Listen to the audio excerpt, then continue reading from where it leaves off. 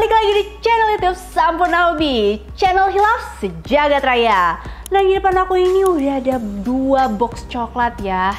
Dan ini adalah pastinya SHF. Kita bisa lihat ya. Nah ini dia. Sebelah kanan aku ada SHF dan sebelah kiri aku juga ada SHF.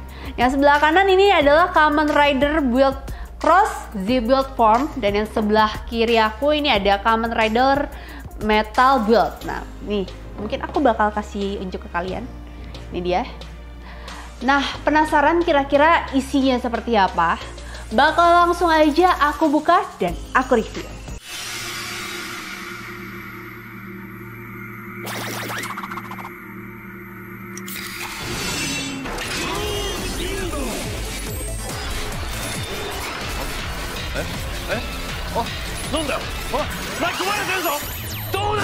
Are you ready? ダメです変身な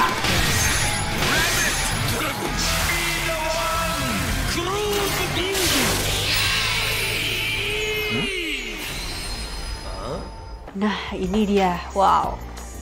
Keren banget ya guys, cakep banget. Ini para pecinta tokusatsu kalau lihat ini udah pasti ngiler nih. Apalagi fansnya Kamen Rider Build ya. Nah ini juga aku buka dulu yang Kamen Rider Metal Build-nya. Dan ini aku pengen ngasih info ke teman-teman di rumah kalau ini tuh adalah premium Bandai pastinya. Dari boxnya juga udah kelihatan ya guys, box coklatnya. Eh, dan ini dia Kamen Rider Metal Build dan juga Kamen Rider Build eh, Cross Z Build Form. Di mana kita bakal buka aja langsung isinya.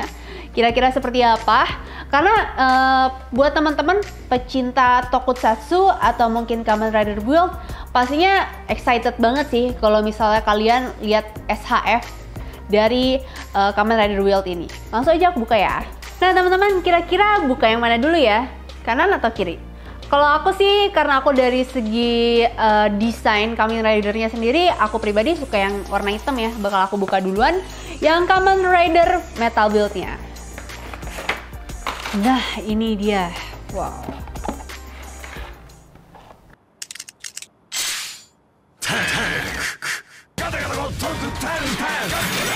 Are you ready? 変身 Uncontrolled switch Black Hazard Yabe!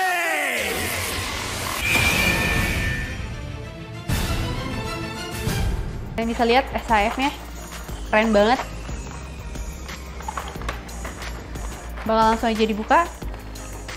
Wow, cakep banget ya. Kita bisa lihat ya. Ini ada plastiknya juga yang mungkin eh, mesti dilepas dari ininya.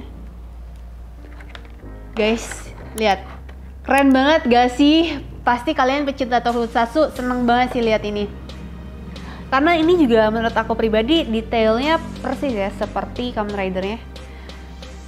Di sini ada kalian bisa pilih option formnya yang seperti apa eh, dari wajahnya atau mungkin topeng eh, helmetnya dan senjata-senjatanya juga ada di sini.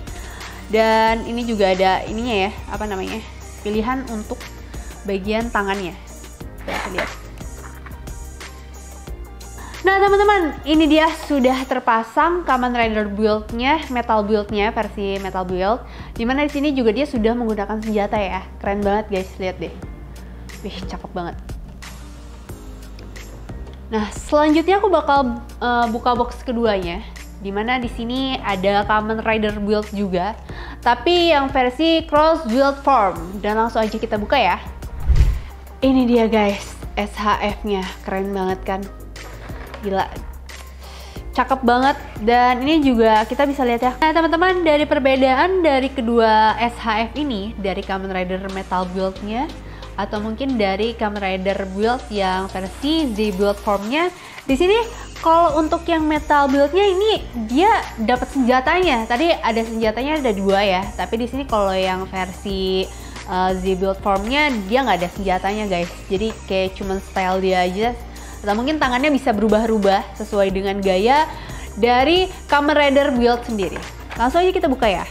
Nah teman-teman ini dia sudah dipasang dari opsi yang berbeda dari bagian tangan di mana uh, untuk yang Z build form ini untuk opsi tangan ini kalian bakal dapat tiga tangan yang berbeda di bagian boxnya dan juga satu tangan eh, yang warna biru, tiga warna merah, eh, satu warna biru. Dan ini dia. Menurut aku pribadi, aku lebih suka yang versi metal build-nya ya, karena selain dapat senjata, senjatanya ada dua, opsi tangannya juga ada banyak, ditambah juga dari help mode-nya juga kalian bisa eh, dapat dua option. Jadi kepalanya bisa tiga kali ganti untuk helmetnya.